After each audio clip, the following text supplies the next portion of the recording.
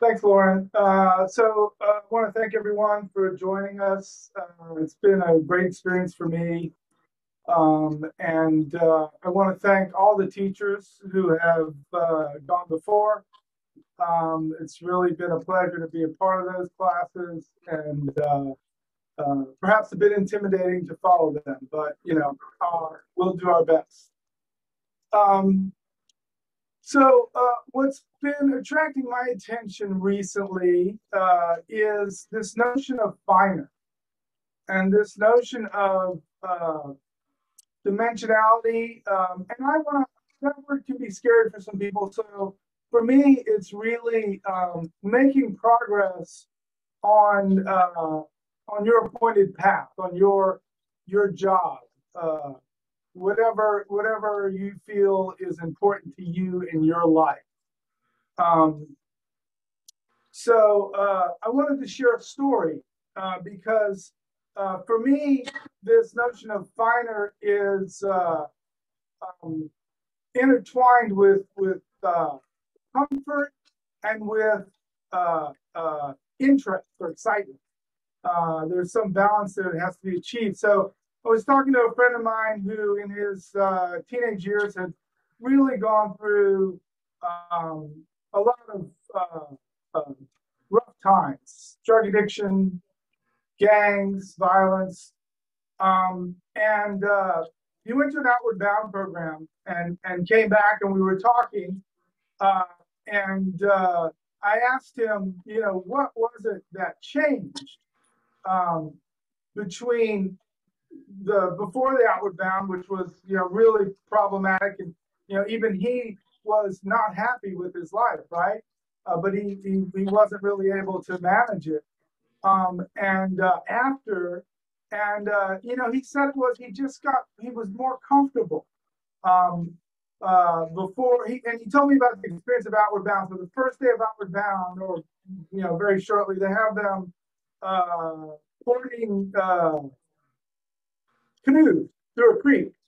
And he said, you know, the first day, you know, it's hot, walking through a creek, uh, kind of the canoe is bugging me and and uh, there's bugs in the water, you know, so you're hot and you're thirsty, but there's bugs in the water. So you're you're constantly spitting out the water, looking for your water bottle, trying to, you know, stay hydrated. And he said, but you know, the third day, you just drink the water. You don't worry about the bugs and and you know it was the same water, the same canoe.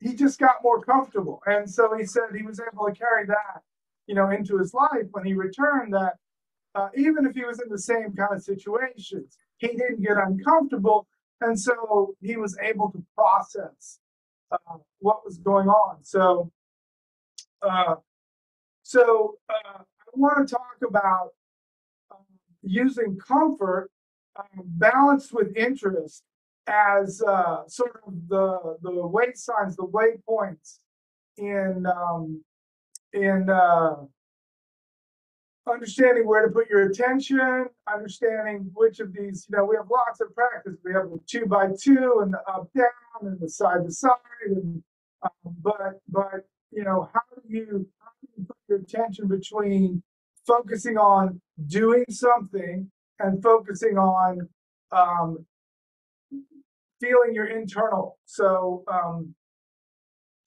I don't know if you've been sitting or standing all day. Um, if you've been sitting all day, please stand. If you've been standing all day, feel please find someplace comfortable to sit. But whatever you do, um, I want us to sort of get quiet. I'm getting warm, so I'm going to take this off. And um, for about a minute, I just want, uh, I'm going to encourage everyone to check in with himself, check in with inside, whatever feels right, and just feel into your comfort. Don't do too much if you can help it, but if anything really hurts, then then then please make an adjustment. Um, I'm not asking you to fix anything. Uh, I'm just asking you to to see uh, what you can do simply that that improves your comfort.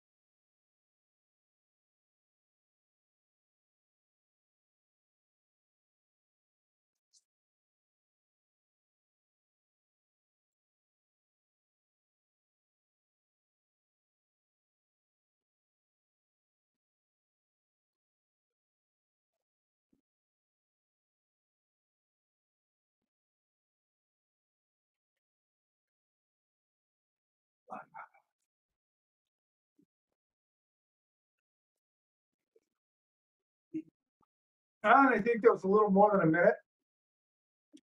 So um, I'd like uh, I'd like to get as much feedback as I can. So you know, uh, if you want to open mic or you want to use the chat, I can read that stuff too. So, um, you know, uh, for me, uh, actually, I, I've been working on getting comfortable for about 45 minutes. So I did a little bit of cheating, but um, for me, it was my body alignment. I uh, uh, my upper spine in particular, I think really came into some nice alignment, relieved some stress, and uh, this little nagging neck pain that I've been having for a couple days really not even there.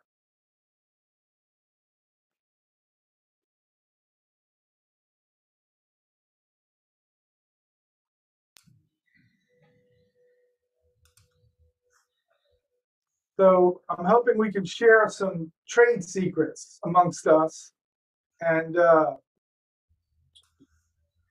you can tell me what works for you. Hi, Ken. Uh, Bob here. Hi, Bob.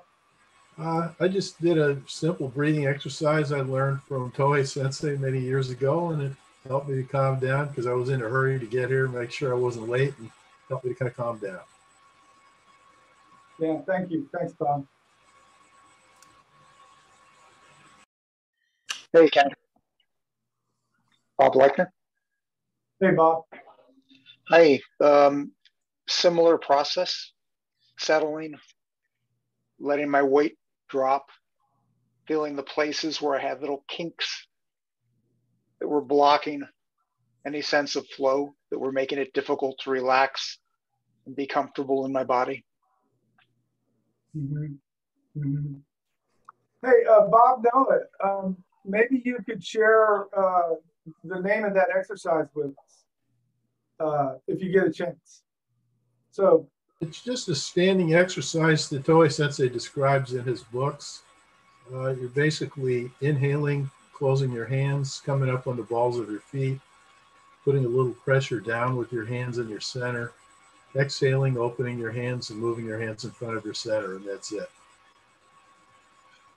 But if you have either of his books, Aikido in Daily Life or Ki in Daily Life, the exercise is in there. Okay.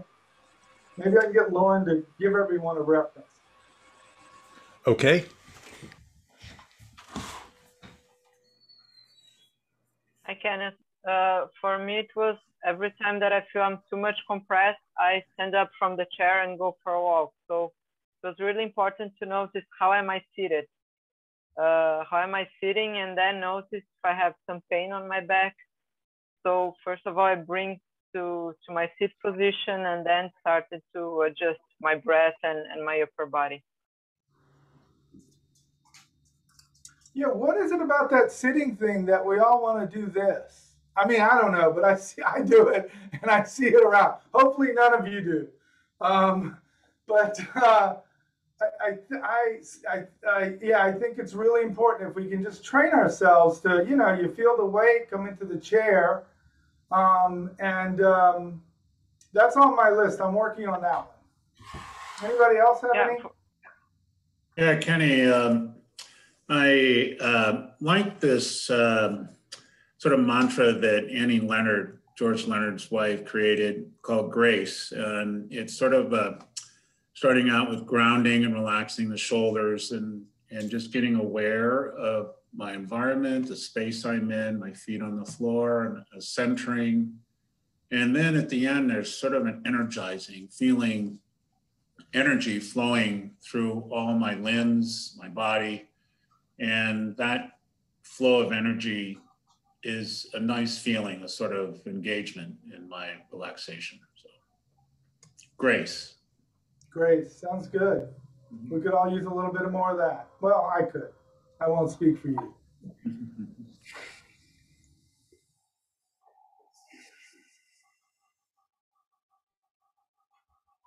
Maybe one last.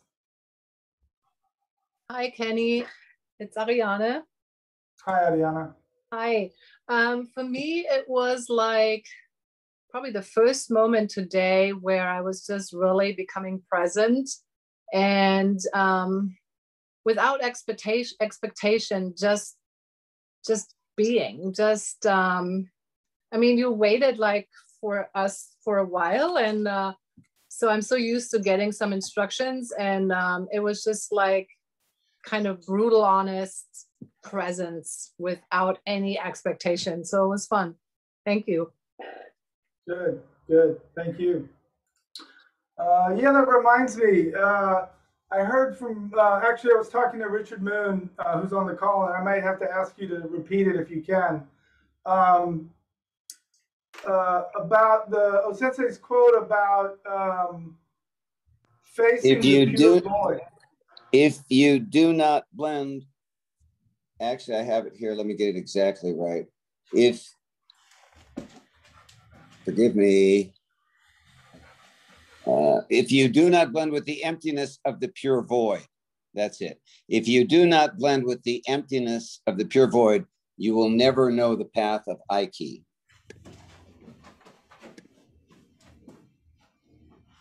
Wow, that's beautiful.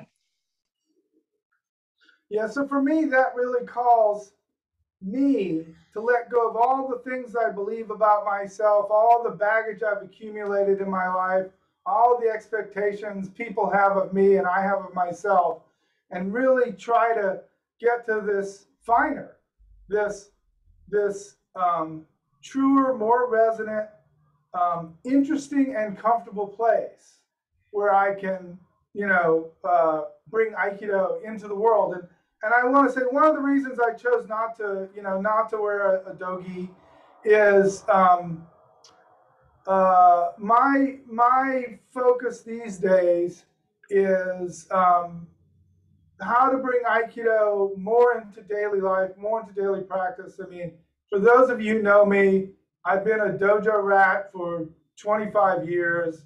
I used to train multiple hours a day, six days a week. I love the dojo. Don't misunderstand.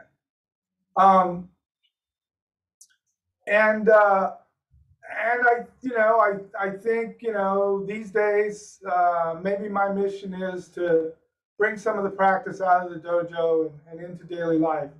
So um, maybe let's stand up again. And uh, I'm kind of playing in uh, in pandemic mode. I know, I don't know. Maybe we're moving out of out of this pandemic into the next one. Maybe it's our last pandemic. Some of you, uh, some people have had more time in the dojo, but um, let's work with an imaginary uke. And if you have room, I just want to do a partnered two step. So we're just going to do a partner two step. But maybe before we get started, find your balance. Whatever your practice is, I like the lean slightly. Actually, I really liked Roy's turning practice. Whatever works for you, you've had you've got enough, of them, I think. Find your center. Make some room for your imaginary uke.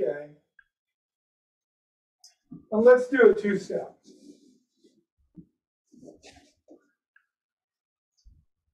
So that was just me. Now let me see if I can find my imaginary uke. There we go.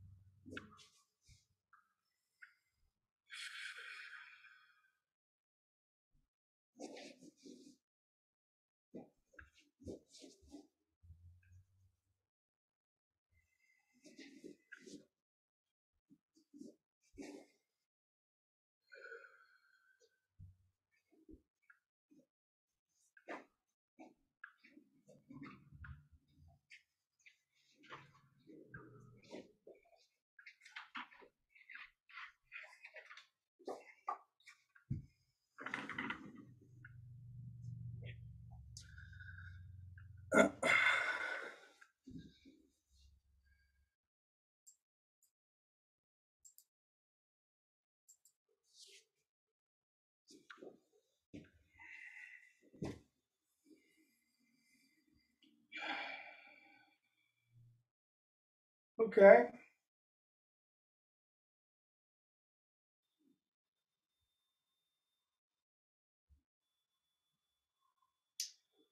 So, what I'd like to talk about is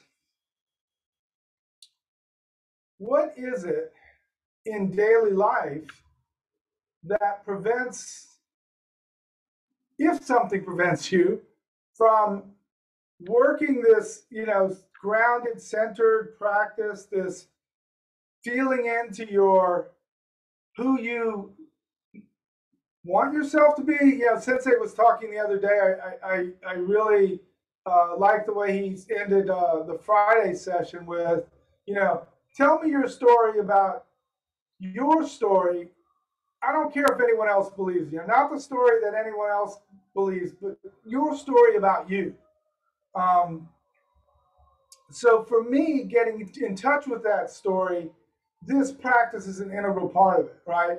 Getting rid of the rest of the world and what the world expects of me, what I think I owe the world, and and getting back to to um, you know who I am and where I come from. So uh, if any of that resonates for you, I'd like to hear about it.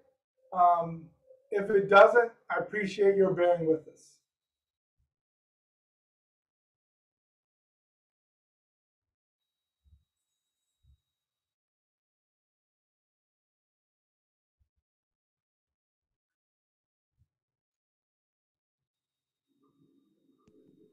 Hey, Ken. This is Russ. Uh, you know, when you just when you just did that, you know, uh, the two step, and then you said now add your imaginary partner. I actually could feel the imaginary partner there. I was quite surprised by that. You know, like it changed something instantly, and I'm not sure why. So, interesting exercise. Yeah, me, too. I, I, actually, I know I said get your man, and then I started. I'm like, I, where'd they go? I couldn't find them. Um, so I, I, think maybe we operate on autopilot. You know, uh, default mode network, as they say. Um, and what can we do to uh, not see the world the way we've always seen it? Um, so it's a really interesting uh, maybe maybe I shouldn't get into it, but um, we don't see reality as it is. It's not possible. We don't have the senses. We don't have the capacity. We make up a story about reality, so we might as well make up a story that works for us. Right, and that's inclusive of other of other people or spirits or whatever, you know. Right. Because I know when I'm uncomfortable, I hurt people in ways that I don't even mean to. And and I don't even notice it for a week and a half, you know? But when I'm comfortable, when nothing's hurting me, I'm actually able to, to sense what's hurting others better. And instead of this, you know, war of attrition, we can, uh, well, we can um, be uh,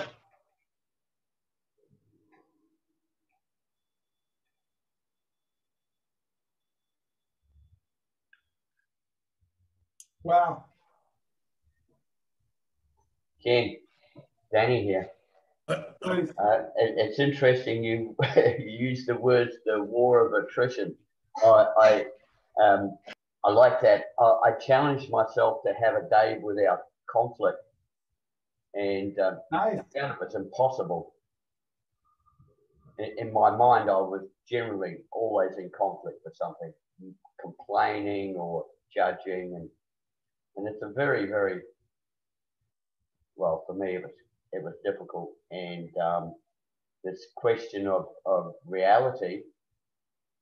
Yeah, there was no reality there. It was all about my image, about who I wanted people to see me as, and often I wanted people to see me as uh, good and clever, but really on the other side of that, there's dumb Danny and um, and uh, and all the opposites of what I want to present. And um, I found that exercise like Ross, very interesting. As soon as I introduced the partner, I had distinct different feelings from my right side to my left side, how welcoming I was. And um, I found that really interesting that as a question to me, the dominant side, uh, what I'm presenting on the dominant side, uh, which I use a lot, and um, I think he's a bit of a crazy guy. but thanks. Thank you. And I want to weigh in what Danny and Ross were saying that as well. It's when you you created a, a wonderful space this afternoon for us to open up to each other about our inner feelings about ourselves and challenging ourselves into the void. And doing the two step in the dojo, you refer to all your hours in the dojo. For me, doing the two step in the dojo, um, when I'm facing my partner it takes a little bit of time for me to open up to my partner at that point in the two step where we're facing each other and feeling that connection from hara to hara. But in this imaginary partner, it, it, it was surprisingly, I say, uh, uh, agree with Ross, that wow, I had a place where I was opening up to this imaginary energy that I was facing and I switched my direction in the in the two step with a left and a right Hanmi to see to check it all out, both left and right. And certainly there was a nice opening that occurred, and I appreciate that. Thank you. Well, you know, it, it reminds me, and I was going to do the demo, and I don't have the paper. Um, I might uh, I might uh, give up a minute now, maybe get maybe get 30 seconds later.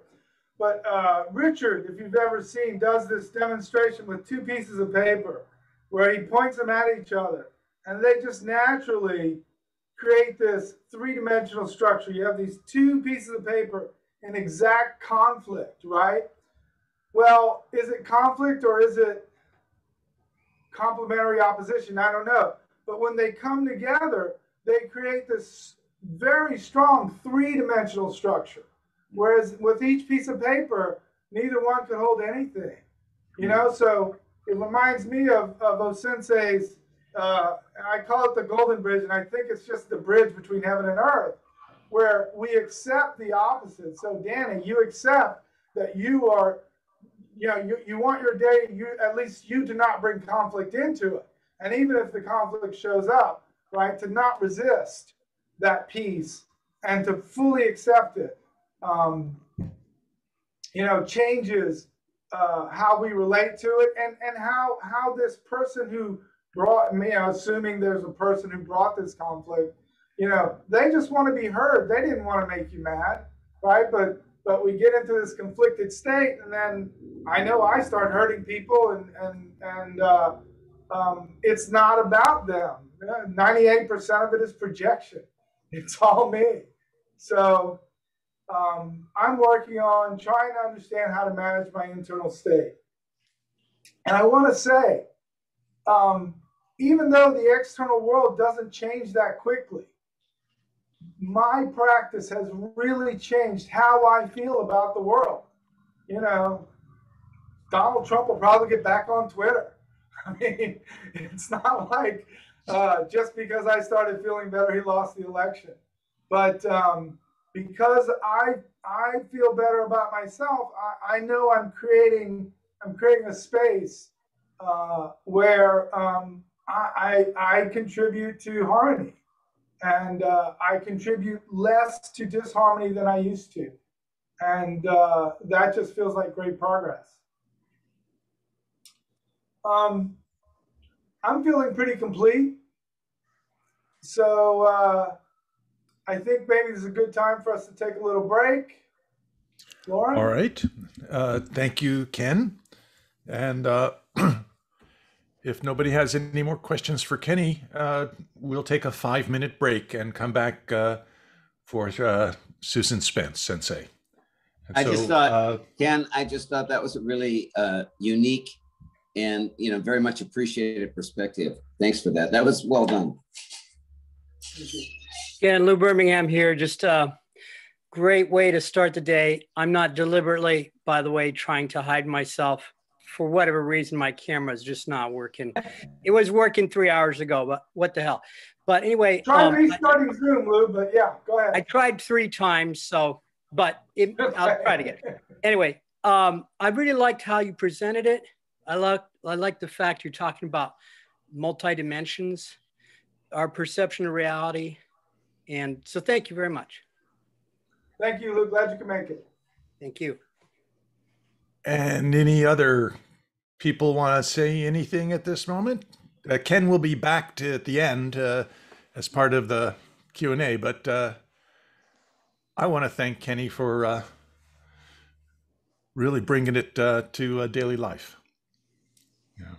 So uh, I'm going to ask Ken to uh, say goodbye, wave goodbye, Kenny, and we're on a five minute break. Thank you.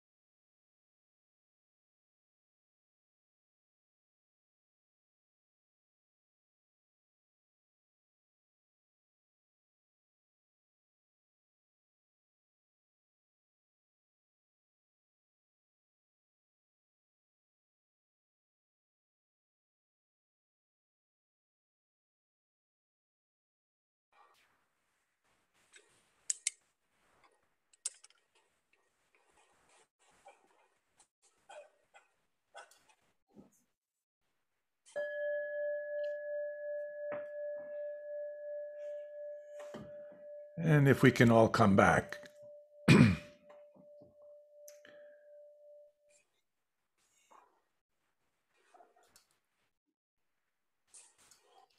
and welcome back. It's uh, my pleasure to introduce uh, Susan Spence, uh, longtime student of Nadeau Sensei's and a longtime uh, member of this community. Uh, she's now at Mount Shasta in California, a beautiful place to live. And uh, Susan, thank you very much. You're on your own. Thank you. We'll bow in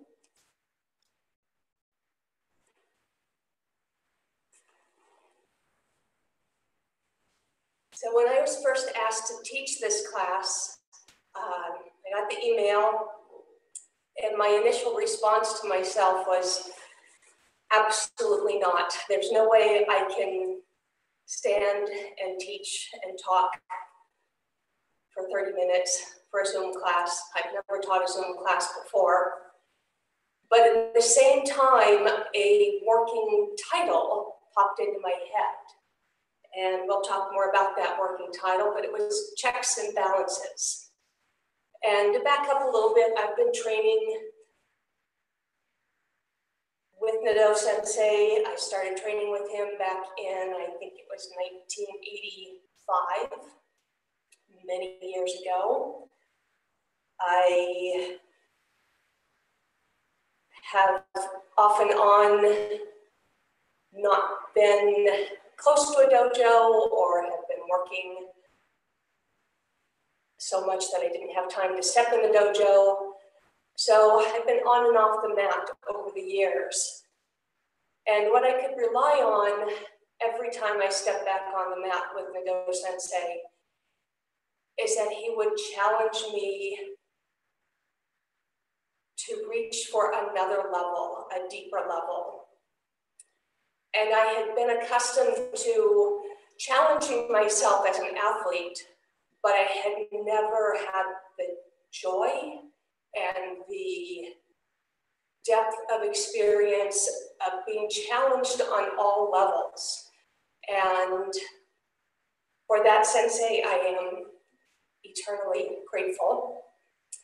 I have been enormously grateful for this past year for whoever came up with the idea for these Zoom classes and whoever and all the production folks and of course Nadeau Sensei because I feel like over the past year with these classes I have grown uh, deeply and progressed in ways I, I never dreamed of in the work that I do.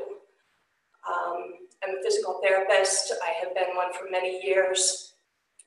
And I have always um, appreciated that what I learned in Aikido is applicable in so many ways to my work, as well as, of course, to life.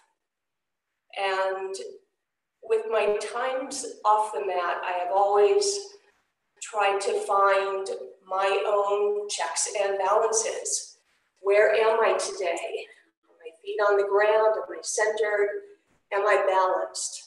So all of those things that we've been working on for the past weeks of this um, seminar. And as those of you who have been in the Zoom classes know, I have used over the past year woodcutting as a process for me to line up myself, line up myself in relation to the world. Uh, and fortunately for you, my internet connection at home is not very good. So you won't have to suffer through a woodcutting exhibition, but I will talk about it because again, it has been an important part of how I have incorporated the work that we have done in the Zoom classes into my life and into my work. And I'm starting out sitting today because I want to work a little bit on what Kenneth introduced earlier. You know, who am I right now? Where am I? And so for all of you who want to sit, um, we're gonna do just some easy stretches here. So just a simple stretch. Settle in.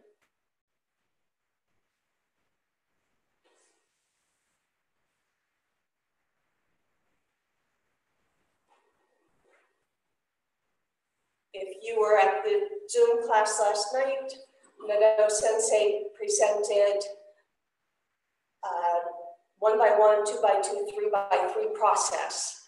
So check in. What level are you at right now? Where are you? Can you feel yourself on the chair? Can you feel your feet on the ground? Can you feel that connection between your center and your hand? Try a different stretch. What shifts? Okay, so right now we're just establishing a level. This is the level that we're working at, that we're starting with. It's important to know where you start from. Um, so standing,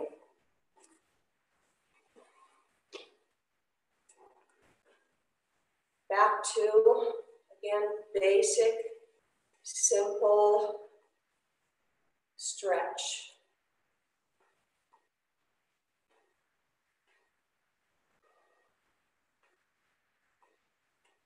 So for me, there was a shift in from sit to stand.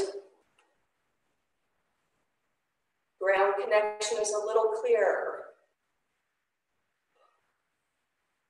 Back is opening up a little bit. Okay, again, right now I'm just establishing where I'm starting from.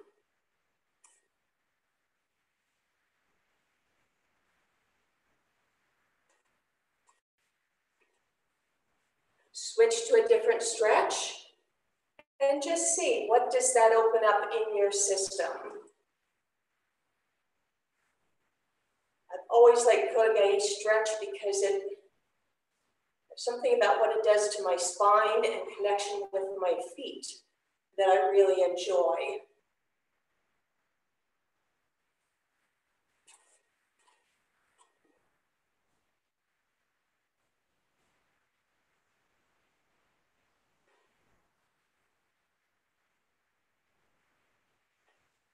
Okay, so that's the level that you're starting with.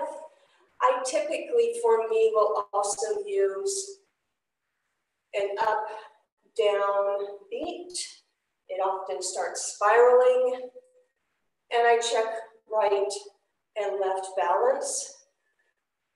Last week, Roy did just a spectacular demonstration of his process that was beautiful in that sense of balance, balance with up, down, um, right, left. So again, use whatever you want to double check this level.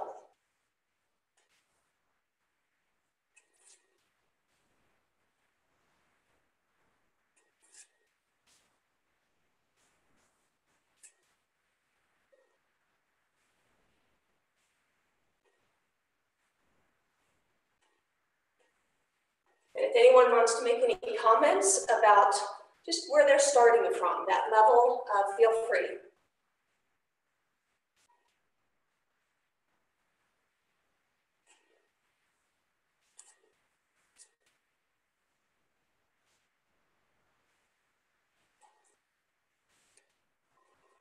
And if not, um,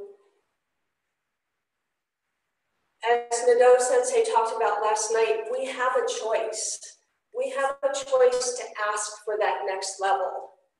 So going back to your favorite stretch, if you want, just invite that next level to show itself.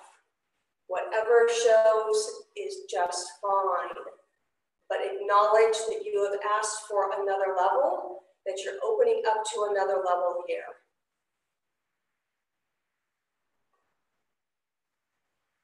So back to a basic stretch.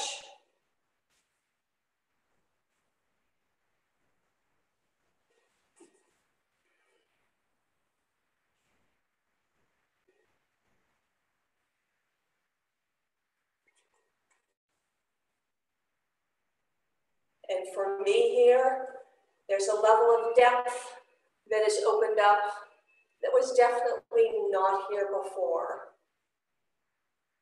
So that's one way I know that I have shifted levels.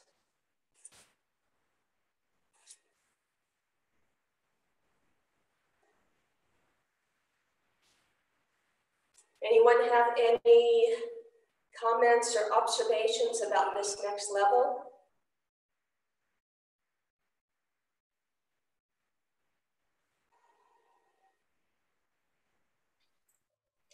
Hi, Spence Sensei, Linda from San Diego. Um, yeah, I noticed that my um, breathing opened up. I felt like I had more space. At first, I was like, is it okay to move? Does she want us to tenkan? I, you know, didn't feel very free.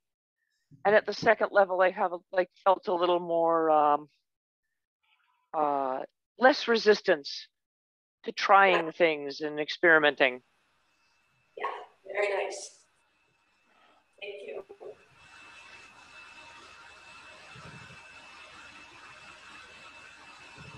Anybody else? Any comments about this next level? Uh, for me, Susan, it was uh, clearly more structurally sound. So I felt that uh, there was more uh, left and right, structurally balanced, uh, and kind of a sound feeling to uh, my myself. Yeah. Isn't that amazing and beautiful how well and how easily the system does that? When you make that choice and you open up to it, and the system automatically responds with something better, something new, something fuller.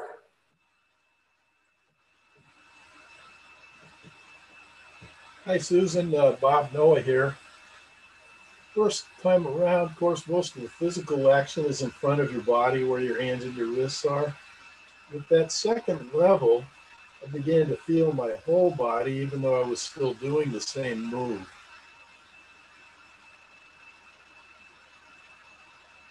Say that last part one more time, Noah. I began to feel my whole body, even though I was still doing the same movement the same way, but my awareness had gone from just the front to the whole body. Yes, thank you. So again, if you would like, you know, this second level, if you like, if you feel like moving a little bit more, um, again, I happen to like this, uh, this movement for checking my depth, checking the balance. If you feel like using a two-step, go for it, that's fine. Use what helps you, again, check where you are.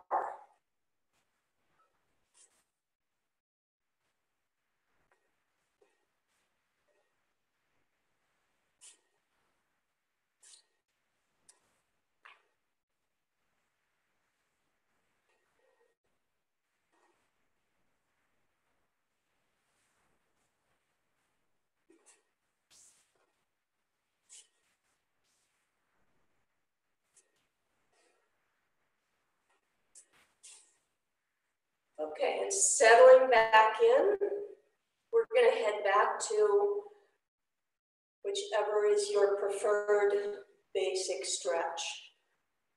Again, asking, you know, as Nadeau Sensei often says, play the game, okay? There's another level here. Okay, we established ourselves nicely at that level. So I have that choice to step in and say, okay, there is, I know there's more, there is another level here. I'm going to do the best I can to experience that level.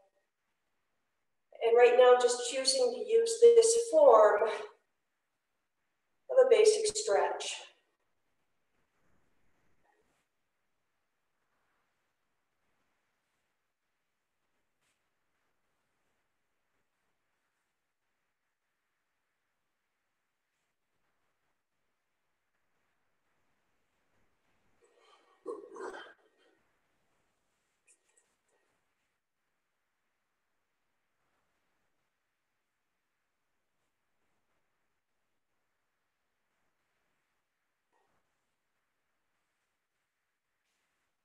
And I realized that something really significant has shifted in my relationship with the ground, which at this point is much, much deeper than here, and my connection through my center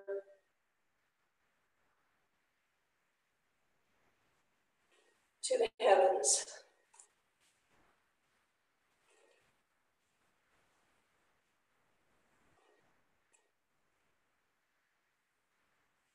Again, there's another level of, let's say, clarity of my connection with the ground, my connection with the space around me.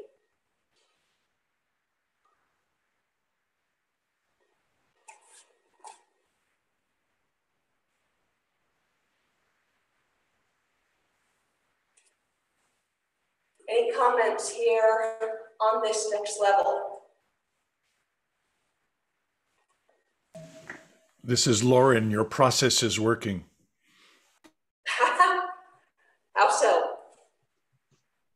Oh, I can feel it uh, centering and quieting, Yeah. and uh, um, uh, uh, more uh, movement flowing from within. It's a beautiful system, isn't it? And it just is so natural. We ask for it, and the system responds and allows us to grow. And these hand stretches that you've started with, the Kotegaeshi and the Nikkyo and so on, they're so familiar, so nostalgic at this moment. Thank you. And again, if you want to play with what's happening at this level with a different form, feel free.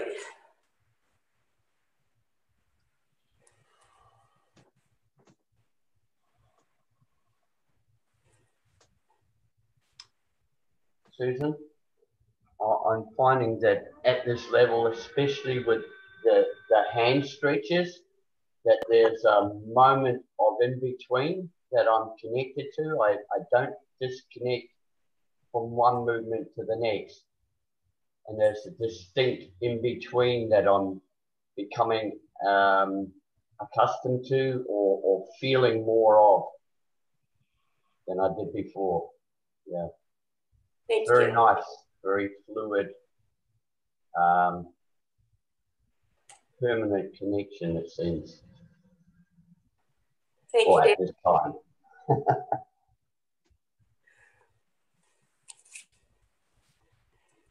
Anyone feeling, for me, um, I always get quite a bit of a rush with teaching, certainly with presenting.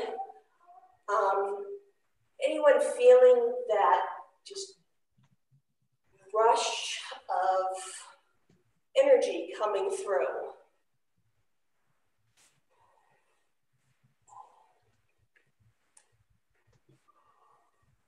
Hi, Susan.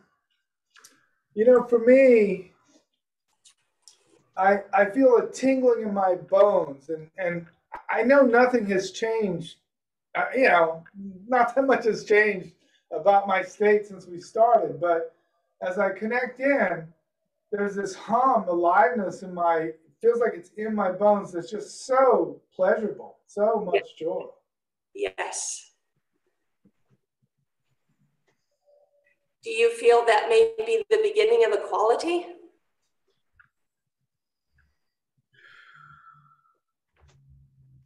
Um, I, I think it's, uh, I I think it's the energy before the quality because now I am I'm starting to warm up. You know, I can really, uh, you know, starting to sweat a little bit. So I think it's that it's the energy rush before the quality. Nice. Yeah, very good. So that's a wonderful example of knowing where you are, mapping. Not quite equality yet, but there's something there that's starting to happen. So respecting that, cool, there is that happening, and I know where I am. I know that if I stay with this, quality will show. Thank you, Kenny.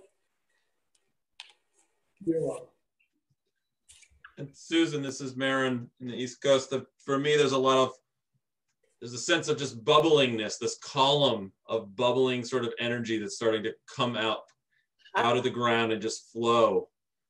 Just, just by settling in, by these stretches, by just settling, it's just starting to really bubble.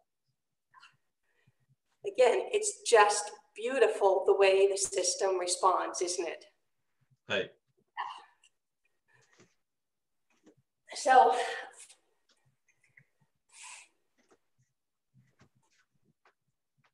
I take just a moment's break.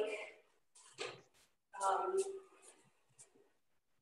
and for those of you who, again, have been on the Zoom classes, um, know that I have used wood chopping as, as an alignment practice.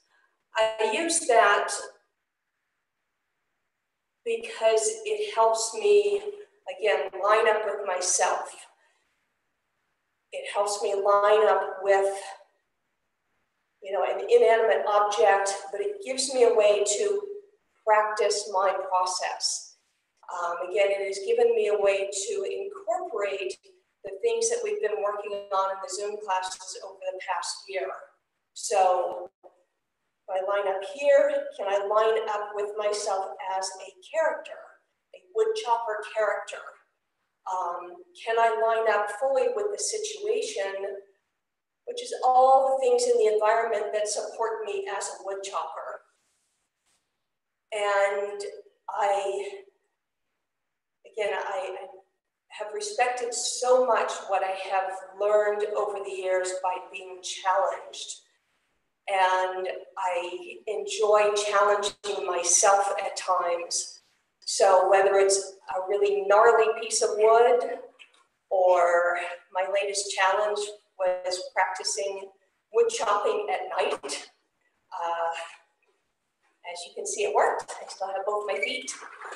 Um, and it really was a wonderful practice. I have to do it from a good space. I do it with a headlamp, which is an interesting practice because I don't have a fixed sight because as I move, the, the light on my object moves. So I, it helped me get to another level again of trusting my process.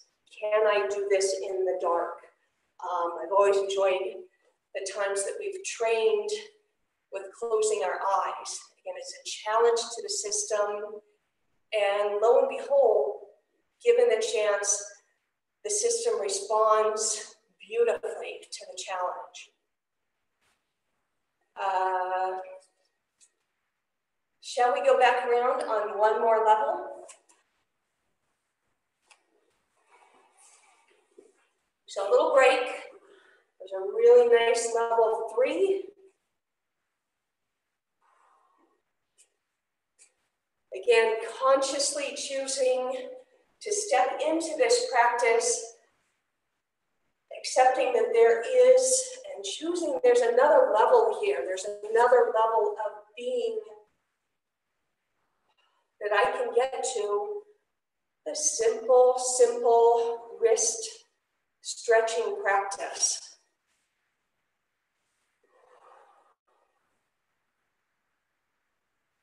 Doesn't mean I have to crank on my wrist more. It means I get to be fuller here.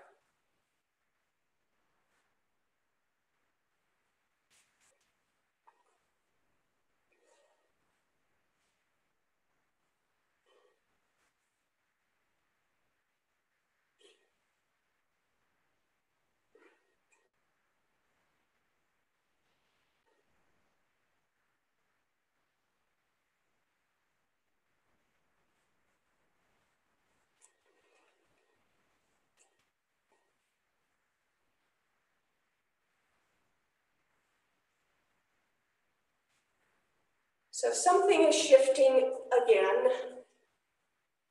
I don't immediately have words for it, but I'll trust that that's okay and that it will show itself.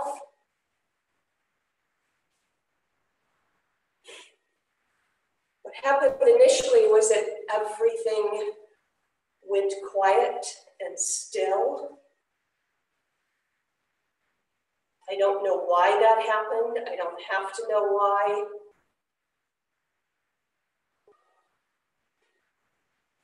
I'm just going to hang out here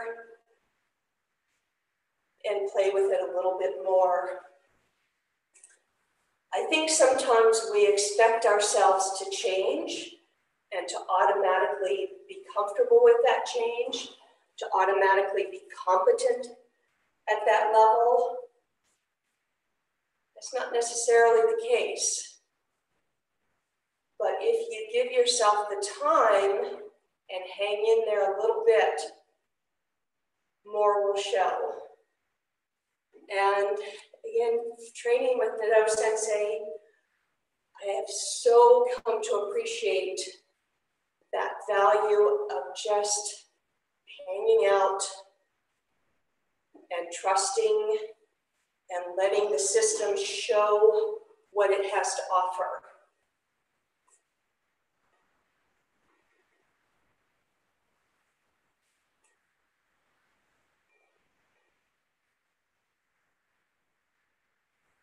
So anybody, anything happening at this next level here? Susan, this is Patrick. Patrick.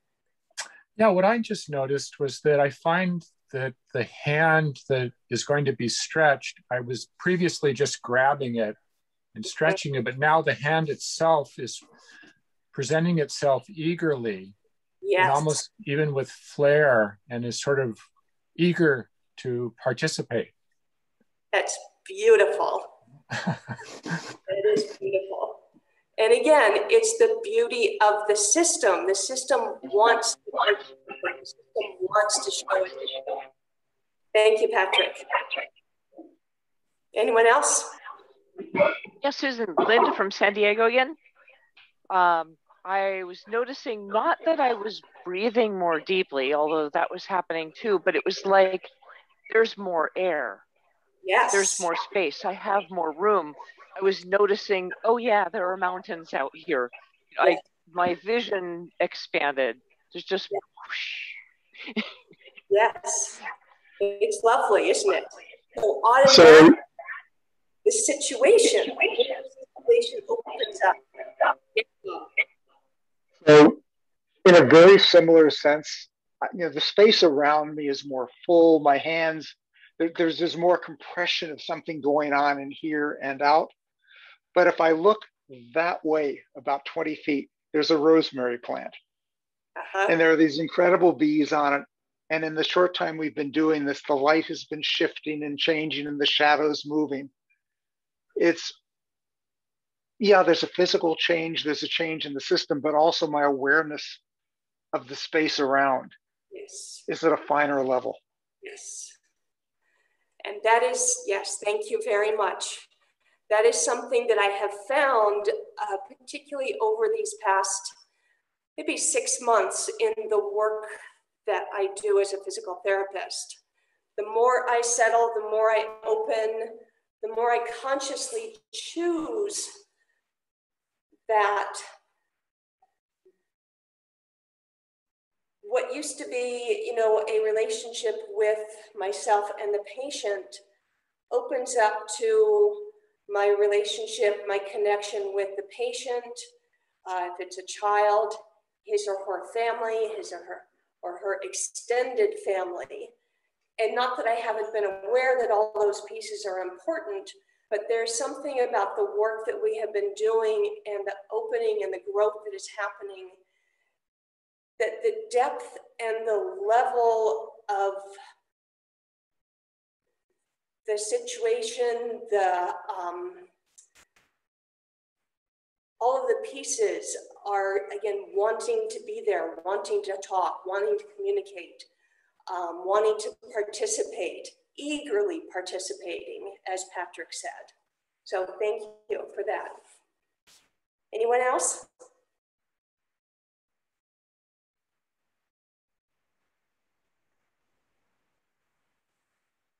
Hi, Susan. This is Joanna.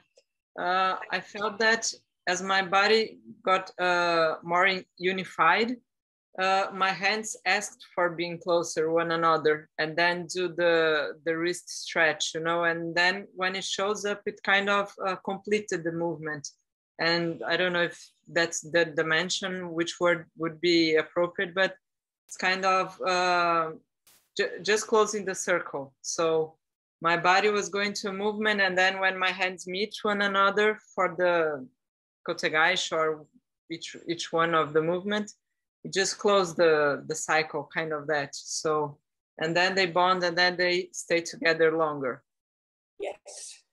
Yeah that connection yeah. automatically. Yes. Thank you. And also fulfilling the entire body. It wasn't only a, a hand hand movement but started with the whole body so what happens if you open up and a space shows up, again, you're not quite sure where you are. Well, back to basics. Is there a level of balance here? Is there a level of up-down balance? If I'm still not sure, I'm going to go back to that prior, prior level. I'm going to go back to that previous level. Um, okay, that's where I was, and open back up and say, okay, something happened at that new level, something I'm unfamiliar with, something that I'm not sure how to talk about, I'm not sure how to express. But I love, absolutely love the percentage game that Nadeau talks about. You know, what percent can I experience this? Can I, it's not 100%, okay. How much can I do? What can I do here? And to the best of my ability, boom, here I am at this next level.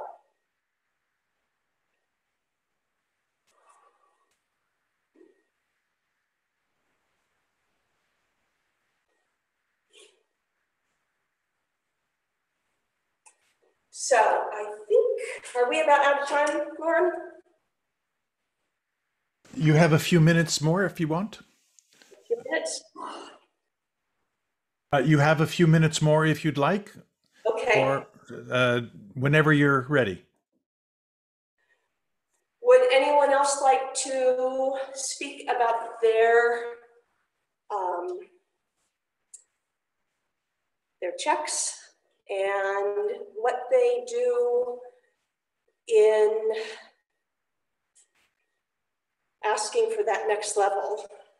Um, I want to thank um, Lauren in particular, who after his class talked about how we have all of these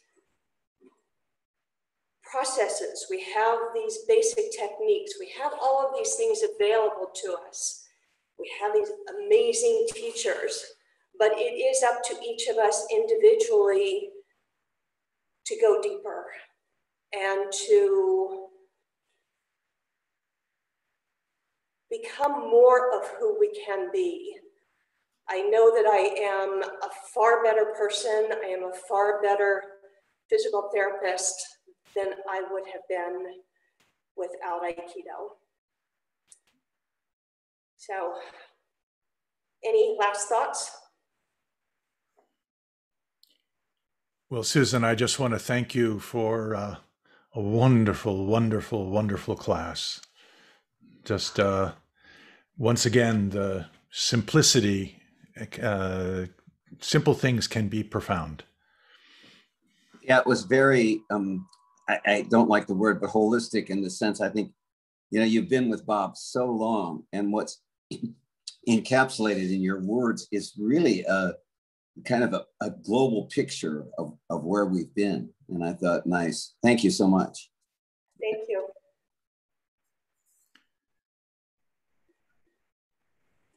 We will bow out.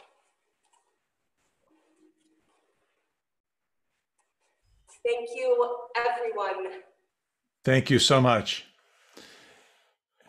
And we'll have a five minute break. Thank you so much, Susan. Thank you.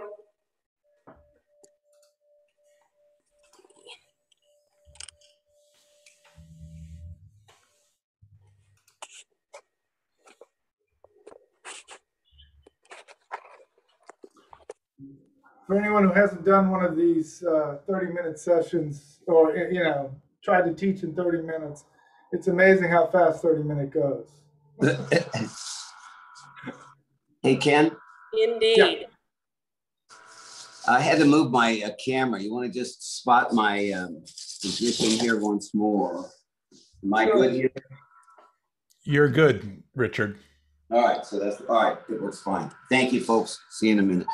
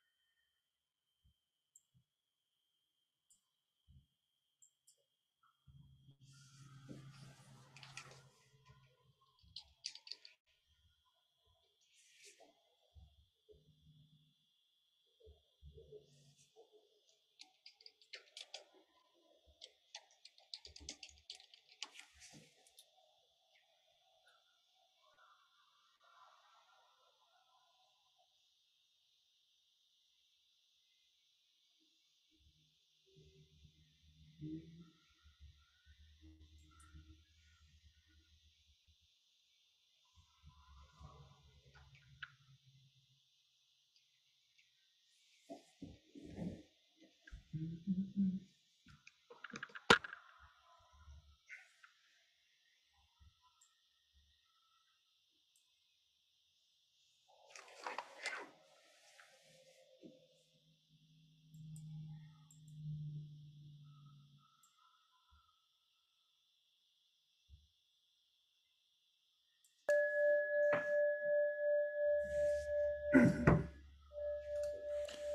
And we're back for the 12th in the 12 instructors.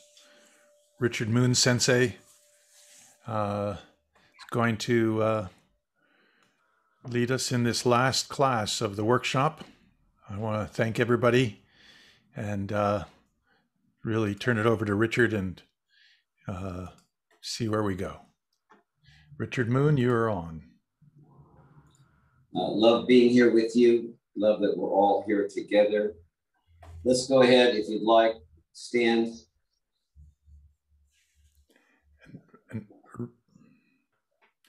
Richard, if you could step back about six inches, we can see your feet. Thank you. and if you can't hear me, if my instructions aren't clear, please don't hesitate to ask. I want to say, in terms of bowing, you should always be bowing. And if you think about it, every time you exhale, there's a little bow there. And I like to think of every one of those as a bow to the universe. As Osensei said, when you bow to the universe, it bows back to you. When you call out the name of the divine, it echoes inside of you. So we always start, I always start with listening to the impulse to breathe. Now, if I'd asked you to take a deep breath, you could do that, and we would say that was you breathing. Now, when you listen to this impulse, should we call that you? How should we talk about that? And I'd like to say there's a volitional or intentional aspect of you that breathes when I say take a deep breath and you do it. And then there's a, I'm going to use a cheap word here, autonomical, because I don't know what it means aspect of yourself that breathes when you're not thinking about it. And I want to say that you can start to bring those together by paying attention to your experience, listening to the impulse to breathe. And I love to say, not hearing the impulse, not sitting and watching yourself have an impulse, listening, you know, like listening to it. And then you can start to get into a dialogue and speak to it and be part of it. And then the two of you become something else again. So I'm going to come in close and I'm going to ask you to just just begin to let yourself feel any movement that you would like to feel. And if you'd like to go ahead and express that movement, I thought where Susan took us, set this up, this whole connection of feeling, as I call it, the most mis undervalued word in the, in the English language. As you start to feel it's a portal, a doorway, a, a travel device. It just it's it's a doorway into a completely different realm. And as you let go of thought, and please stay with your practice of letting yourself move, but I want to come in close so my words are clearer. And let your movement expand and express more. And I like the waking up in the morning practice, and I also like the drunk practice. And I just like to play with letting that movement start to come through. And like the connection with the breath, what's important to me here is that you're connecting to something direct in your own experience. I don't care how we want to talk about it, which you it is, the two yous together, one plus one equals one something that's happening in you at this moment, your true north, your bestowed mission, your expression of Takemusu, the divine birth of creativity. And let that come through in movement. And when the movement wants to slow down, let it, when it wants to go back into activity. So I want to say love gives birth to harmony. Harmony brings forth joy, and joy is the greatest treasure. And that was what I understood was those sensei's Aikido and 3Z lessons. And it's why, for me, the mat practice was always in service of that larger connection. And I never worried that much about the mat or the techniques or the. And I knew there was something for me on the martial side. I pursued it. But to me, it was about this. The secret of Aikido is to harmonize yourself with the movement of the universe. Now, I don't know what that means. And going off and thinking about it doesn't seem highly valuable to me. But feeling yourself moving with the impulse to breathe, which is your aliveness, which is your life force, which is your spirit, your direct connection to the totality. Okay? So he said, if you do not blend with the emptiness of the pure void, you will never know the path of Aiki. And I want to say, and if you blend, as you blend with the impulse to breathe, you can start to lead. You can begin to play with this force of life, this power, this possibility that you're given. Okay. But once you blend, you can lead, but it's not the same you. And that's what's so important, I think, in the practices. If you could see what Susan was teaching there, what Bob's been teaching, what everyone's been showing to some large degree, and really where Ken started with just going into this, you begin to transition into a different relationship to the totality. And I'm going to say, for language, that's not the same you. Now, when he said about love, he said, as I, harmony, is common with I, love, I decided to name my unique Budo Aikido. Although the word Aiki is an old one, the word which was used by warriors in the past is fundamentally different than that of mine. And so I want to warn you in the same way, I'm going to play with using words in different ways. I, I told Ken I like the story of a woman arguing with some gentleman in the street, and he says, You ought to consult a dictionary. And she says, What for? It's my language. So we're going to create some maybe different ways of playing with it.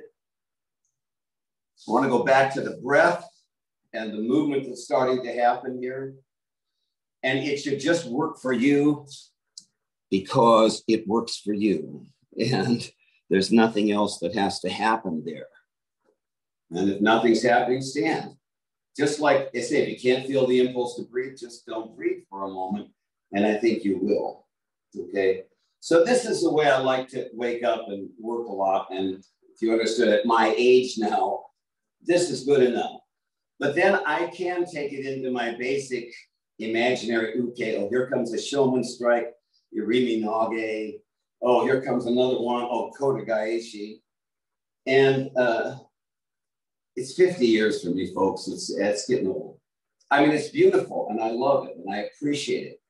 But like the breath, I studied pranayama for years.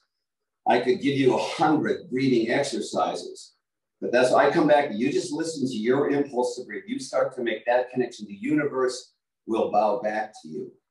It will echo inside of you and you'll feel it in your in your quality. So as you bow to the universe in your exhale and just relax and release a little bit, the muscle's automatic. So I call it a line with the force of gravity, whatever. I like to play with one foot when I'm on a good day, two when I'm not so good. But whatever it takes to get you into this place where you can just let into it and let that downward sinking force just sink open, as my friend Chris Thorsen calls it. Settle open, as my instructor Robert Nadeau calls it. I like to go sink open, settle open, sink open, settle open. Play the game and just let that happen. And then at this point, I start to bring in my randori, my imaginary ukes in unexpected attacks. A guy coming in here, you could just see it striking from my head, and I move my head just slightly off the line. So I bring my hand up to guide his hand just by me. I'm into this place, grab him by the hair, tip his neck back. No, I won't crush his throat here. I'll just Irimi Nage and I play those games. So here comes another one in this side with a Yoko type with a beer bottle in his hand. Strike to the side of the head, now, you can take one, make up one for yourself right now, and just grab somebody and brutalize them a little bit.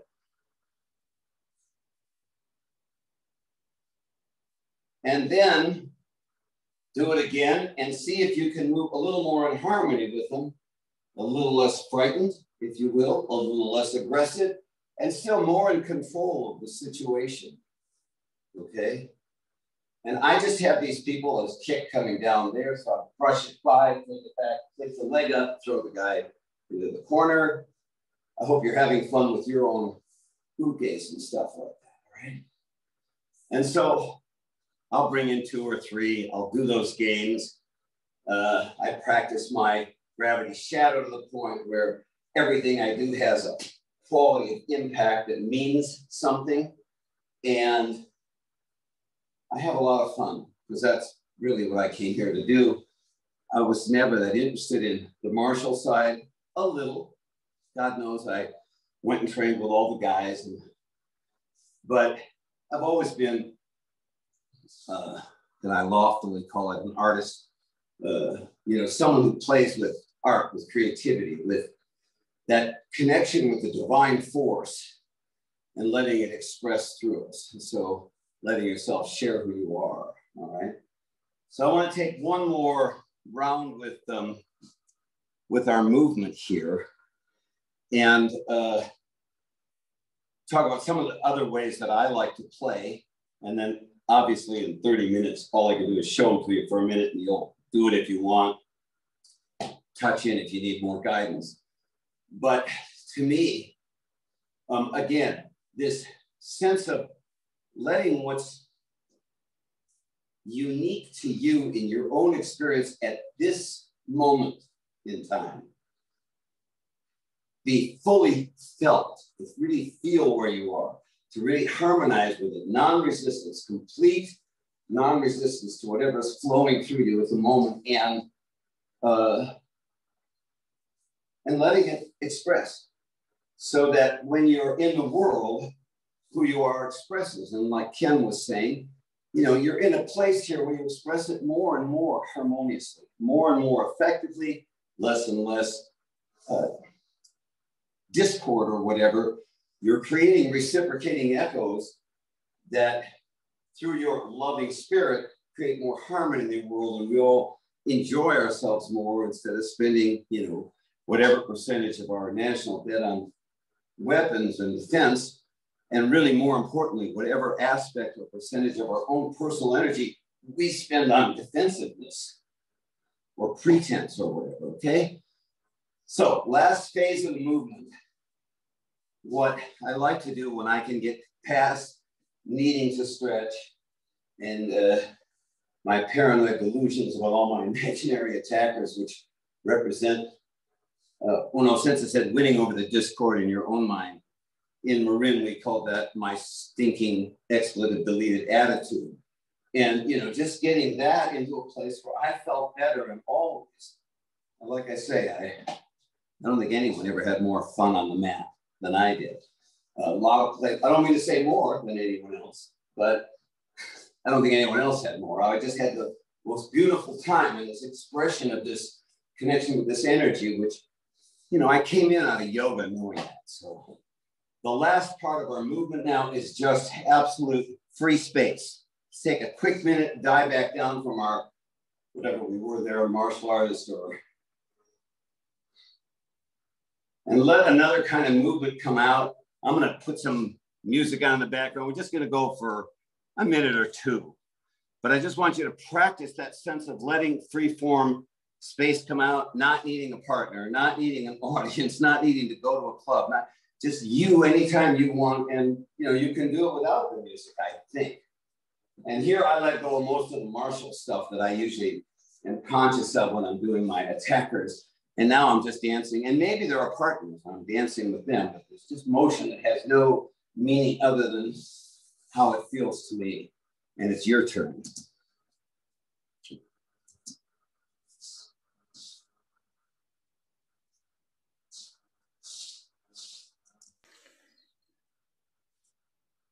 We do not hear your music. I don't hear it either. And let me try it once more here.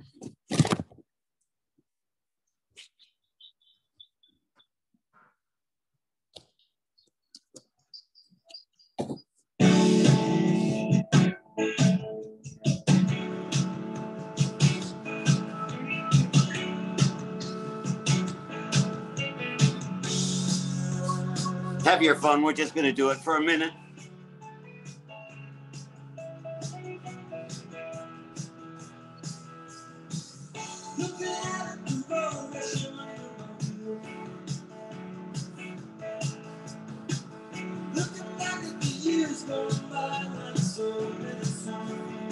So, if anyone's stopping you,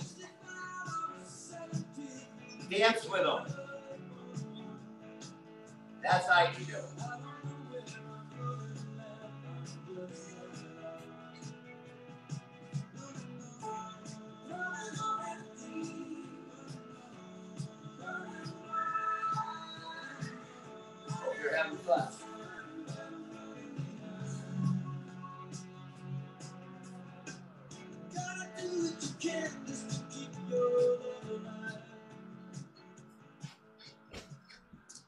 All right. Do a last standing minute. And any movement that completes this phase for you.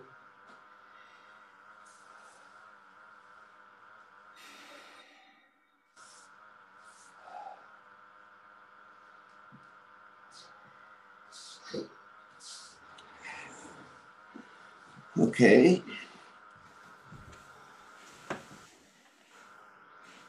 Lauren, how are we on time? You're good. Uh, how much time left? Uh, half an hour. Oh, okay. Well, plenty more than plenty. Let's uh, let's do a little bit of um,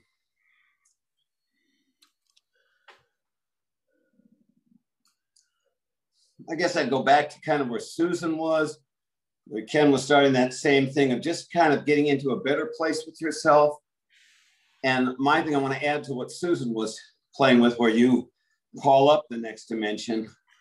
I have a, a an approach I take, which is I square away with this dimension until the universe is bored with me being here and the next dimension starts to show up. Now they're really just two portals, two windows two ways of talking about come across some interesting information of late that just talks about stuff we know. It's not new information to us, but the way they speak about it both confirms and I think sort of expands the understanding. Uh, easy, the eye, open and settled. Okay, so the latest stuff is as we go into a situation we either move towards it expanding into it as if it were a challenge. Oh boy, let me run the race and win. Uh, or we um, see it as a threat and then we begin to close down in a different way. So I think you all know all this. And it's why that sense of we go, oh yeah, easy the eye. You just get to a better place. And back to what Ken was saying a lot, and, and I talked a lot about this in the three easy lessons tape, that when you enter into a situation in a positive way, you've changed the situation already. And I'm talking back into the world. I don't get into fights, but I'm in a lot of negotiations with people and coming in in a spirit that says, you know, I'd like this to be good. And I'm sure we can do something, you know, in a positive, that whatever that energy is, that quality of just, and that comes out, as Ken was saying, because I'm now the words are funny, comfortable with myself. Well, what does that mean? That means that I'm letting myself be who I am. I'm just able to share who I am. But that's not me in some little place, what they call the default mode network, the I, running off on these trips about what's going on. It's me in an experiential state at a connection to my own gravity shadow at a level of totality that's secure enough that it doesn't have to be aggressive because it's not operating out of fear. It's just here in a way of, you know, I'm going to hit the nail to pound the nail in. I'm not angry at the nail. I'm just doing whatever needs to happen in that moment as precisely and effectively as I can because I'm I've done the process Susan was doing. I'm in my best operating place, and I'm starting to connect to something now that hits that realm where you know. When Bob says it's like you can't exactly feel it now. Are we sensing something? And I'd say let's play with that borderline for a minute in your own experience of when you feel into who you are, and to come back to Bob said, uh, yourself to be present as self. What does that mean to you? You know, and what's your experiential experience of that process? I don't want what you think about it. I want to know you know, I want to know, I mean, I want you to just be in that sense of feeling your true self present as self. And then this thing about, he said, unwind. And the thing that was really interesting was in this one study, and I'm not sure how much I believe the science of it, but like Black Elk said, whether or not this happened, I don't know. But if you look, you can see that it's true. Anyhow, they said in the face of good emotions, the DNA began to unwind. And Bob's always in that thing where he's um, twisted the obi belt, you know, whatever, and then talked about us getting wrapped up in that way. And I think, in a sense, he said, calm the spirit, return to the source. I just say, sink, open, settle into the opening, and be in the experience. Give all your attention to what you're feeling. And it's why I say most undervalued word in the English language. That feeling process is what guides you. Uh, if you've ever seen the Seven Samurai, the scene where they're testing the samurai when they come into the hut and the guy's hiding behind the door with the stick or whatever. Uh, that sense of awareness that, that was developed at a whole other level of being than what the conscious self could ever do. It's a, proximity sense, a magnetic sense of being. You can feel it in yourself, and you do feel it when someone gets too close to you or, or anything like that. So, this process of connecting with yourself, best operating place, both asking for and knowing that whether you ask for it or not, the next dimension of you is knocking. And it may not be that fixed as a dimensional barrier or something, but it's just you're starting to feel more something and begin to be in harmony with that and bring that forward in a way that is in harmony with the rest of the universe. And then share who you are. Put your note into the symphony. Okay, play your note beautifully and make the symphony brilliant and gorgeous and fantastic. And that's what I think comes out of this process.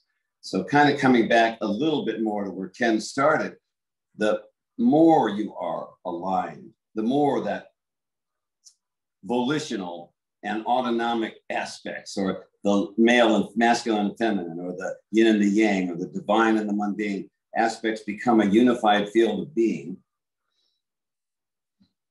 And uh, I always check with the gravity shadow because the tendency to go, yeah, that would, man, that, okay, okay.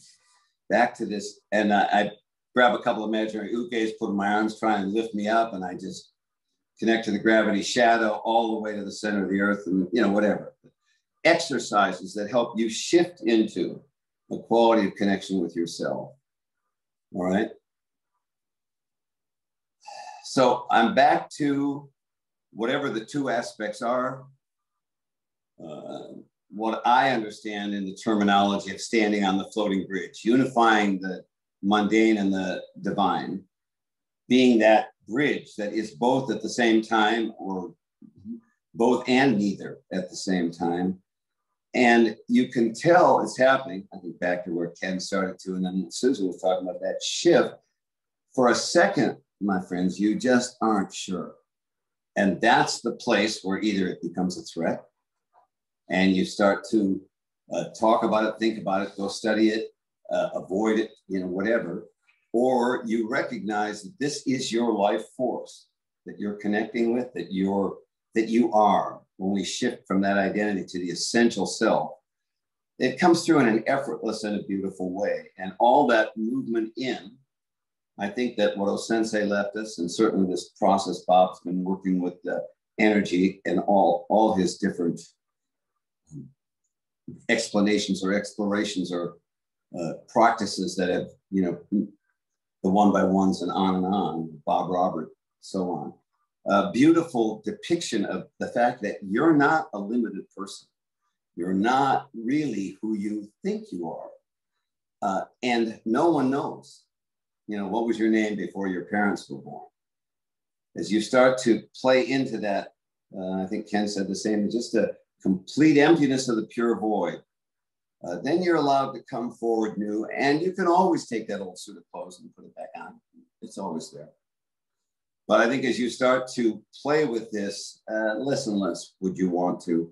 And more and more do you recognize that letting go of whatever you think and your stinking expletive deleted attitude or the discord in your own mind, and you start to move into this, it transforms how you feel, transforms how you interact in the world. It transforms the reciprocating echoes that you generate in the world. And I don't know how much more you can do at this point. So I think on that note, I'll stop talking and we can talk together. We'll bring the other teachers in and we'll just wrap it up for a little while or whatever. And then I have asked Bob if he would stick around and say a few words before we close it off. So, Lauren, how would you like to finish this? Okay. So, uh, thank you so much, Richard. And uh, I haven't danced in years. So, thank you. uh, I'd like uh, to ask the three teachers from today to I'm going to spotlight you and bring you on. And uh, if you turn on your cameras and uh, take uh, questions sort of as a group, see what people want to say, what you want to say about each other. Because, uh, you know, it's the first time you've ever met in the three of you, right? So, uh, uh, you know, it's a, uh, it's probably, you know, a stunning, you know, surprise to, uh, Okay, and so everybody, the best question you've got, what's the one that really would make a difference to us together now? No pressure. Repeat that question. Richard is asking people to throw the best question they can at the three of you. Ah. Yeah, my question was what was their question? Right. Hello, everyone. Thanks very much. And my question is how do you remember to consciously choose? Say that again, please, Danny. How do you remember to consciously choose? How do you stay awake to that? Well, I think, Danny, if I, if I understand our, our training to some degree, what we do, you know, they make a magnet by magnetizing it, but, or you can do the electric thing, you know, put the wire around it, magnetize it, but then it stops as soon as you stop the electricity. Unless you put the metal under pressure, and then the magnet becomes much more permanent. So we go into a dojo, we put ourselves under pressure, and we practice choosing to do it from a harmonious state. And like I say, harmony, like charity, begins at home if we're really doing our practice. And, and I think you do that until it's like what we call proprioceptive, till like when you're on, on your bicycle and you start to tip to the right, you turn into it. You don't think about it. You could be smoking a joint at the same time and you'd still know exactly where, you know, it's like, so you train it in over and over again. And that's the beauty of this art is it gives us a way to over and over again look at that choice and then make it consciously until that becomes who we are. That's a story. These are my stories. Only through your own experience can you know. And Susan, and uh, Susan, you had something to say, I think. Not, not yet. Not yet. Sorry. uh, and uh, anybody else?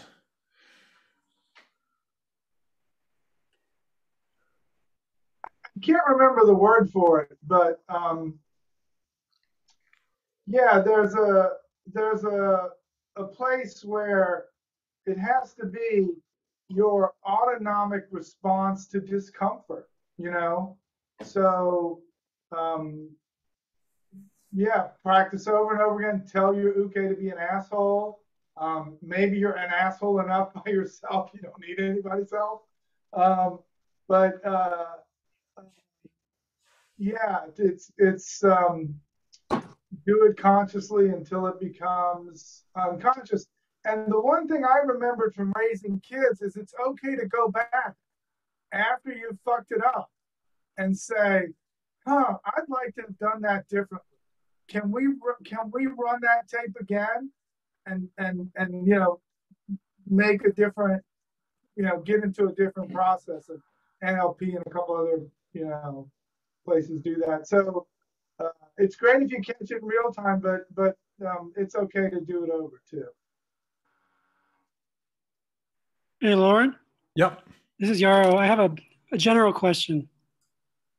Um, so you know, this is the first time that I've, uh, you know, seen this, and this has been online.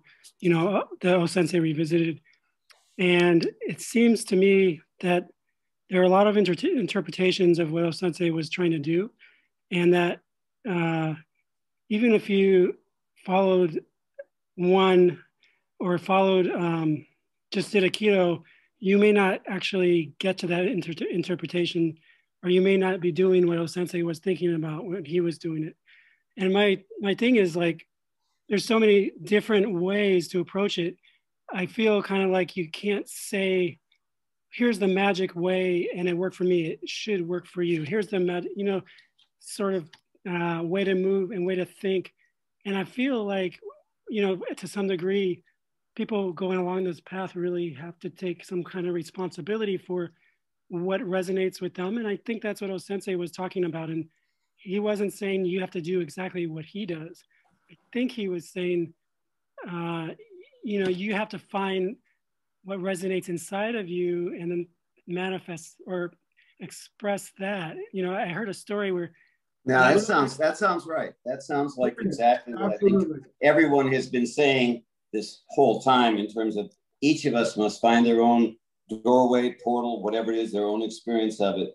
And all these things are there to help people go forward. And you can use them in whatever way is positive for you.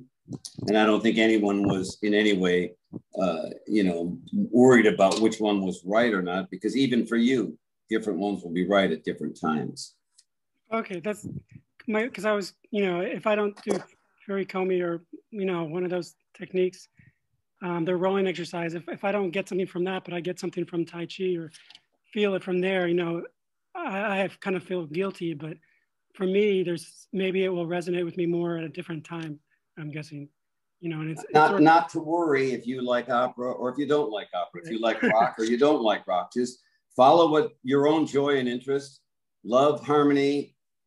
Joy is the greatest treasure. Yeah. And I love Aikido. I think it's a great way to express it. But there's, you know, there's no magic potion, I think, is what I'm saying. Only in you. Anybody else? Yeah, I have a comment. I think it's been great um, weeks here. Um, really enjoyed them. Um, would like to know if um, wh where you're going to go from here. Um, like each of you personally, um, what do you see next step as in growth or or your next uh, adventure in the, in your practice? And uh, Tucker, we don't have your picture. At, uh, where are you calling in from? Um, San Jose, um, Aikido San Jose. Very good. Wonderful. Sorry. There we go. I was and just so, uh, wondering- could you? So Oh. your question again, please. Well, I'm wondering, you know, it's been great these weeks and want to know um, where we're going to go from here um, and what each of you kind of foresees your path um, going from this point uh, to another level or next level. Uh, I, I'm not clear. Are you asking about these seminars or are you asking about people's practice? No, I'm asking about people's practice. Okay, very good. So I'm sorry. Um, Susan, you want to take a whack at that? What are you working on now? Next? Where do you go from here? Sure. Um, Richard was talking about experience, experiencing our fuller self, um, original self, and I am striving to continue this process of experiencing the fuller of myself and the fuller of myself in relation with uh, clients I work with, the children I work with. Um,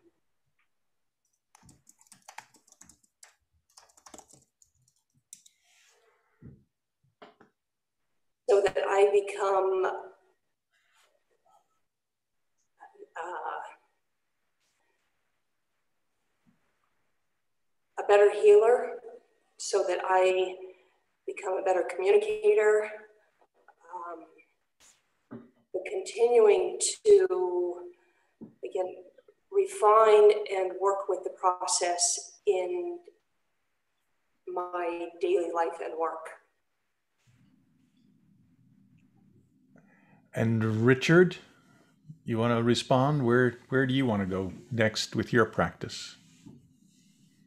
Well, you know, um, been kind of trying to emphasize this with all of you in my comments in Bob's class that um, it's really staying with these fundamental practices, and they themselves will take you into experiences that will lead you into whatever is next for you at this time. If I'm so into connecting with that directly through your experience of life and vitality and stuff. So I, I, I don't see the fundamental practices changing.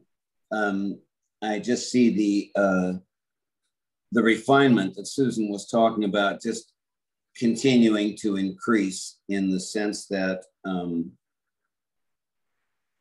like Pablo Casals said at the end of his life, when asked if he was still practicing eight hours a day, he said, uh, Yes, I am. And you know what? I'm getting better. and Kenny? Um, uh, I I see this coming more and more to here and now. Um, I actually I started a biodiesel company.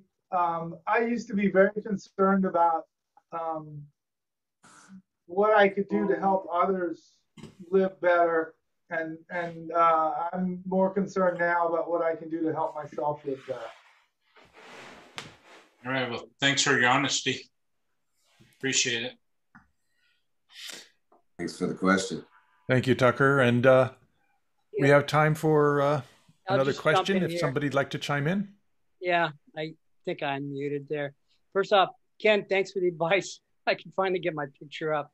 Um, my mug is there for y'all. Uh, I want to thank uh, Ken for starting with some uh, just really insightful um, ways of shifting our, our reality patterns.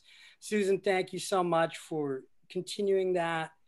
And then uh, Richard Sensei, what can I say? You're you're a true original. You're you're too unique to explain, baby. But I loved it, and just keep on going. It's very very inspiring. I say I say that sincerely and seriously, very inspiring. Um, all the classes we've had, and ending with the three of you, and of course with all the background help from Lauren and Ken yourself and whomever else is is helping in the background very, very inspiring. So thank you very much. Thank, thank you. It was funny. I was just last night thinking about the time you came out to visit us and what a fun night we had out at Aikido Maroon that time. Yes, we did. Thank you.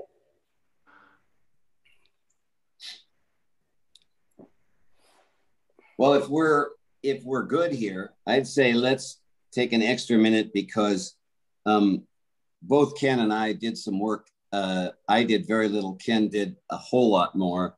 And of course, most of the work was done um, by Lauren on so many different levels, both creatively and in active production and coordination and uh, really uh, managing all the folks and stuff. So I really can't thank him enough and invite you to. And I know you also want to thank all the teachers who contributed. And I thought I suppose we could open all the mics, go thank you, thank you, thank you. But what I thought the best way to thank all of us, thank each other for what we've gotten here is to pay it forward and share it with people as you go as you go forward. And I, I think Lauren, if you want to have any note before we just invite Bob to come in and say anything he'd like to before we close it. Well, uh, yeah. So Richard and Ken, it's been uh, a practice working with you this past year and uh, an important part of my shugyo. And uh, we make you know, it as, as I, helpful as we can be. and, um, uh, you know, it's been a team effort, truly. And uh, I want to thank uh, uh, Brad and Katja, of course, for the Friday night classes that gotten this far. Um, but all 12 instructors uh, for this little workshop uh, have uh, helped us remember O Sensei, you know, to revisit him. The key thing that Nadeau Sensei makes clear to us every every week is that O Sensei left us a process, right? That Aikido is a process, and that uh, you know, in this process, we have a a chance to learn about ourselves and to refine ourselves and to improve ourselves. And, uh, uh, you know, Teja Bell Sensei and Harry Concepcion and Jack Wada let us off. It was a month ago that Teja, you know, showed us, you know, his version of the rowing exercise and pointed out how so many different disciplines over so many centuries have used some version of this rowing. And the other day, I'm uh, in Tai Chi class. Jack Wada sensei talked to us about how in Tai Chi there's a version of rowing, pushing and inhaling and exhaling, and really was uh, inspiring. Um, Bob Leichner, Elaine Yoder, myself, Ross Madden, Roy Johnson, Bob Noah, and then today the three of you have been uh, just uh, uplifting, uplifting. And so uh, it's been my uh, my honor and pleasure to work with you all and to uh, practice with you all. Uh, you know, when we started the virtual dojos, Ken and Richard and I talked a lot about how we could possibly do something to sustain the community during the, the Aikido community without a dojo. And these this this four four week strange, never done it before kind of seminar has shown that the community is uh, vibrant and thriving in its own way. And uh, uh, I'm humbled by people's uh, dedication uh, to uh, this Aikido O Sensei's path. Um, I think that Nadeau Sensei may be lurking someplace close by. I don't know if he's yeah, he's, we all he's, uh, meditate on his spirit. Do you think he'll show up? Uh, Oh, there he is. I'm here. Hey, uh, uh, thank you, everybody who's taught these Saturday sessions. Uh, very, very nice. Thank you, thank you, thank you. Um, I've got what? I've okay. I'm looking at the TV. No, I gotta, I'll never make it in showbiz. No, you're doing great. You're doing great. Yeah. Uh, anyway, thank you, thank you, thank you. Um, I really don't have anything because I'm exhausted after Friday nights. Uh, uh, so I don't have anything. If you have something, I'm I'm here for a minute or two. Well, I'm going to speak for uh, all of the teachers and say thank you because uh, we uh, we would I, I would be lost without having found you and so thank you for your hard work and dedication. Thank you. My my job. And somebody was Much, asking much, where, where much appreciated. And somebody was asking about where, where you guys Where go you going? with your work. I, I might say I'm okay with my job. Uh, I'd like to get a little clearer on mission. And for me, mission is a big, big word. I'd like to get a little clearer on my mission. Uh, um, uh, Susan started to bring up something. I think it came up. I think it was bouncing off a question from Moon Friday night, and and she was talking about developing herself to communicate with her clients and patients and whatever better. Uh, so uh, Susan and I have been working a lot on uh, a self to self dialogue and what's the possibilities there and what does this entail. And anyways, that's where me and Susan are heading. Uh, so uh, more work on self uh, and uh, for me, uh, interesting. What is mission? I know my job is. I know my real job is, but what's my mission? Ooh, should be fun to play. That's all I have to say. What do you got to say? Sorry, that we really, really appreciate what you've done to create this community and uh, and give us all something that we've been able to, you know, share with you and share with each other. Bob, it really is appreciated. Thank you. Yeah, I'd like to say thank you for making O Sensei a present reality. He was a great man in his time, and that's fine. But what you've done, Sensei, is make O Sensei for us a present reality. And that is what carries us forward. I think the question or the comment, uh, I'm sorry, I didn't catch his name, San Jose, about uh, Tucker. Tucker, uh, Mr. Tucker. Uh, you know, I understand your problem and what teacher is right or this teacher says. Oh, I'm sorry. That wasn't Tucker. That was Yarrow. Okay, whoever. Uh, it's very difficult. Uh, if uh, a guy's a martial artist, then he would have seen O Sensei and picked up certain things that are important as a martial artist.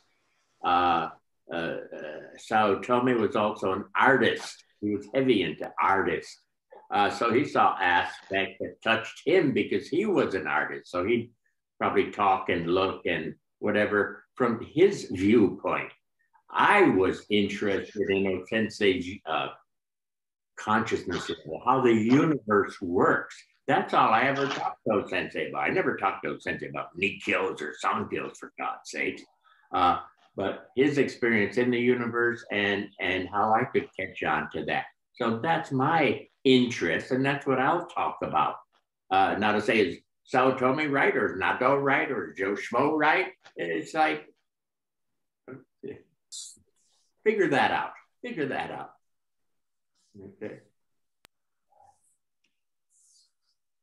Uh, you know, what one thing I'd like to say is that you know this past year we've really all been off the mat, and I think it's been a challenge for all of us to uh, figure out uh, how to be on the mat, off the mat. And I think that your teaching over these years and just your dedication to this art and this process that you learned and sharing with us really has been an opportunity opportunity for us to challenge ourselves and all of the people that have been in the dojo as to how we take this off the mat, how we actually are in a way that our Aikido comes through us, not only on the mat, which has been a blast and fun and great and challenging and a fantastic learning environment, but also how we bring it into the world. And uh, so for that, I am sure, and everyone else, just you know, thank you very deeply for that because it's been a very real experience and genuine, I think, for everybody that's uh, come in contact with you and what you have to share uh, with all of us. So, yeah, that piece, uh, uh, uh that was Roy. Yeah. That piece is very important to me. I was so happy to hear Susan say that she's developed a hell of a lot in the last six months with her inner inquiry and how she's developed better at work and in her profession. Uh, it's like, yes, I Ooh, I got to be careful here. Uh, nothing wrong with a dojo or training in a dojo, but but I, I sometimes feel sad if I feel people sort of say, "I can't go to the dojo. My life is ending. How horrible!" And there's Susan with, "Wow, I've really de- been developing, especially this last six months." She's not talking dojo practice; she's talking inner practice. So I like the inner work. And dojo helps you, fine. But I think if we're really developing, we can develop without a dojo. If that's what's happening, and apparently it's happening. okay, but to uh, to not develop because you don't have tatami to stand on to me is sad. I'm, I'm sorry, it's sad. But that's where I come from. So what, whatever. I'm going to alienate enough people here. I better shut up. Well, as Mort Sahl always used to end his act, is there anyone I haven't offended? I was like that one where the guy the, the teacher turns around and sees a crowd of people walking, following him, and he says, "Oh my, where have I gone wrong?" Love that one. Well, this is Marin out in the East Coast. I definitely miss all you guys. Uh, it's been a while, especially since we haven't had these seminars uh, this year, obviously last year. Um, but definitely um, the teachings that you brought to me many years ago, uh, even though I've been traveling different places and such, has definitely stayed with me. And um, it's great to see everybody and uh, be able to participate with everybody. So thank you all very, very much for these teachings. And Dodo Sensei for, for all of your teachings too. Thank you so much.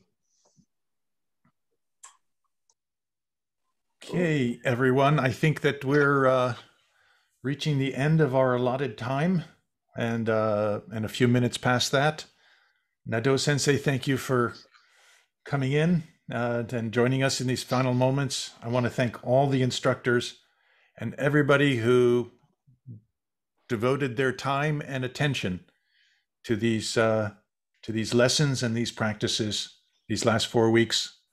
It's the path of Aikido and uh, keep on trucking. Thank you. Thank you all. Thank you. Thank you all. Thank you. Thanks, everyone. Thank you, everyone. Have a good weekend. Thank you, everyone. Thank you, everybody. Thank you all. Thank you. And thank you, everyone. And we're out. Hang on a second.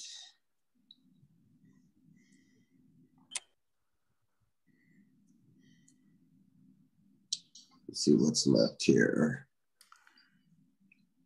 Danny? Yo. Hey, Danny, I just just wanted to um, share something. I had a flash the other night, and um, I would, with your permission, just like to ask you if you've had any contact with Shane. Um, and uh, and I just had this thing, if it felt right, you know, to, to ask you and Mike to just kind of check in on the boy and let him know that we still love him and stuff. Well, I don't know where that came from, and I don't mean to put anything on you, so you know you should know that. But Richard, I'd love to check in with him again, but I'm not going to. Uh, the last time I did, I basically basically got told, "Not now, not ever." You know, I think, um, yeah, you know him, I know him. Yeah, best we can do is just send him love, but actually, he's not open to contact. yeah, good enough. I appreciate it. That that's that's good. Yeah. Okay, everybody, we are going to close out the Zoom session. So thanks for that. Thanks, everybody. Good night.